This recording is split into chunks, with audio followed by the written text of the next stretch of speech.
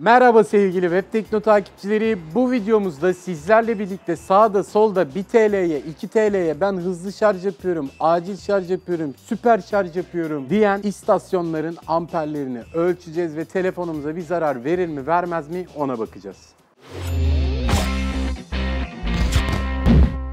Arkadaşlar eminim bu istasyonları hepiniz gördünüz. E tabi şimdi biz de merak ettik ama ilk yapacağımız şey ofisten çıkıp otogara gitmek çünkü orada bir tane vardı. Arkadaşlar şu an İzmir'de otogara geldik. O aletten burada vardı bir tane. Fazla da çaktırmayın. Şöyle bir dolanalım bakalım. Arkadaşlar şimdi bir tane bulduk. Yalnız çok ses yapamıyorum. Bu tarz çekimlere izin vermedikleri için. Önce cihazı takın diyor. Sayın müşterimiz hoş geldiniz. Şarj işleminiz başlamıştır. Şarja başladığımızda %86 idi arkadaşlar. 430 mAh görüyoruz. Şimdi isterseniz bir 10 dakika bekleyelim. Saat 16.28. İşleme başladığımızda 86-87 civarındaydı. Şarjımız %5 veya 6'lık bir şarj etti 10 dakikanın sonunda ve ortalama olarak 810 mAh ile 680 mAh arasında şarj etti. Bu değerleri ölçüyoruz çünkü bunlarda hani bir zararlı unsur olabilir mi, telefona bir şey gelebilir mi ona bakacağız ofise geçince. Takıyorum. Şu an şarjımız %9 arkadaşlar. Saat 16.39. Bir 10 dakikada bunu bırakalım. Bakalım neler olacak. Tepeden bakıyorum çünkü burada çekim yaptığımızı bilmiyorlar. Bir 10 dakikamız yine doldu iPhone'da. Şöyle bir açalım. Yine bir %7-8'lik bir şarj artışı var. Fakat dediğim gibi iPhone'da sağlıklı bir ampermetre olmadığı için ölçemiyoruz. Şimdi ofise gidip aynı süre bir de kendi orijinal bataryasıyla şarj edeceğiz. Zaten buradan hızlıca gitmemiz gerekiyor.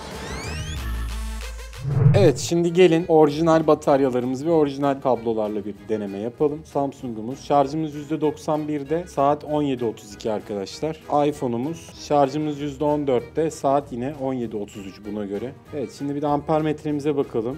Orijinalde kaç görünüyor? Ters olmasın şöyle bir çeviri vereyim. Şu an 860'ı gördü. Diğerinde 700'lü 760'lı bir şey görmüştük yanlış hatırlamıyorsam. Bakalım neler olacak. Samsung'umuzu da şarja bıraktığımızda %91'di şarjı. 10 dakika sürede %7 olmuş. İlginçtir ki o kullandığımız istasyonla aynı oranda şarj oldu. Yine maksimum işte 800 bazen 1000'i gördü bazen 900'leri gördü. Ama 3 aşağı 5 yukarı aynı değerlerde şarj etti telefon diyebiliriz. Hemen iPhone'umuzu da çektik. Birkaç dakika gecikmemiz var. %24 oldu arkadaşlar şarjı. Bu da 10 dakikada yaklaşık %11'lik bir şarj oldu arkadaşlar. Aslında otogarda kullandığımız şarj istasyonuna göre %1-2'lik daha fazla şarjımız var. Gelin şu içeriği bir sonuca bağlayalım. Velhasıl arkadaşlar gözlerimizde gördüğümüz kadarıyla amperler arasında hayati bir farklılık yok. Peki bu durum telefonumuza zarar verir mi arkadaşlar? Eğer ki güncel yani lityum iyon pilli bir telefon kullanıyorsanız bozulmaz. Tabi unutmayın alışkanlık haline de getirmeyin. Başınız sıkıştığında gönül rahatlığıyla telefonunuzu takıp 5-10 dakika işinizi halledip yolunuza bakabilirsiniz. E böylece içeriğimizin de sonuna gelmiş olduk arkadaşlar. Sizler de videomuzu beğendiyseniz hemen şurada bulunan beğen butonuna basmayı unutmayın. Ve aklınıza takılan herhangi bir şeyi bizlere yorum bölümünden de sormayı unutmayın diyelim. Ben şeyi merak ediyorum arkadaşlar. Anketimiz hemen şurada. Daha önce bu istasyonları hiç kullandınız mı? Kullanmadan önce tırstınız mı?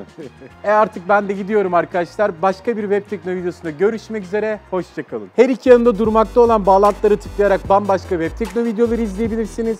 Ayrıca hemen ortadaki bağlantıya da tıklayarak kanalımıza abone olursunuz.